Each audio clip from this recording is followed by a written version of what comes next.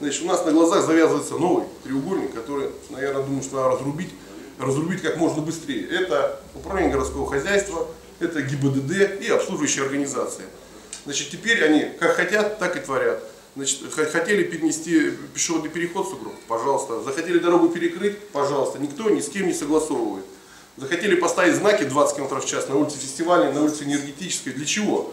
Обеспечить, э, обезопасить кого? Водителей? Нет, обезопасить собственные, извините меня за выражение, задницы. Да? Когда э, дело э, в том, что дороги нужно чистить и выполнять э, все те требования, которые предусмотрены. Э, ну а знаки, хотелось бы, конечно, задать вопрос вот, и администрации. Откуда появились деньги, где решение комиссии об установке координат, об изменении дислокации?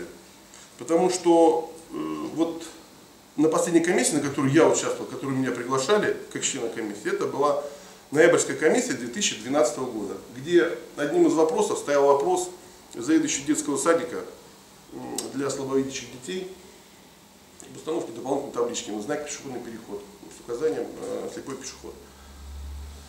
На что было отвечено, что денег нет, в бюджете ничего не предусмотрено. Э, с тех пор прошло ну, 12 месяцев, год прошел с тех пор, э, значит, данные таблички никто не установил и не собирается установить. А вот знаки 20 км в час быстро-быстро нашлись.